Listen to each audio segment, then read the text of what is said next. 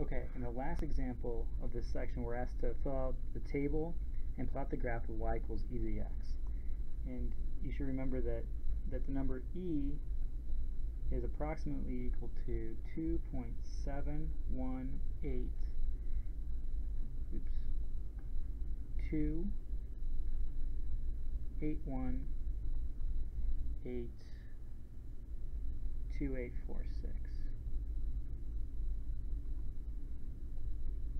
or you know if you just went around to the first two decimal places it would be about 2.72 um, and we'll see that the e is actually a very important number in calculus a little bit later. So but first let's fill out this table. So we're asked to, to just fill out these points. So we know that if you plug in 0 you're going to get e to the 0 which is 1 so it goes through 0 1 it's going to go through 1 comma e which is there 1 comma e or 2.72 um, if you plug in negative 1 then that's that's 1 over 2.72 so I'll just write 1 negative 1 comma 1 over e.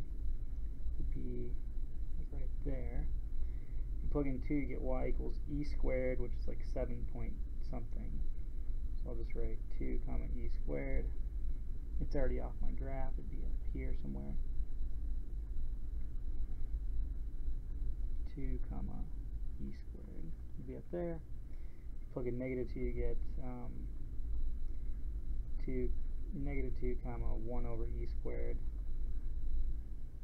which is really small. If you plug in e to the negative 3 you're going to get even smaller. Um, if you plug in 3 you get e cubed.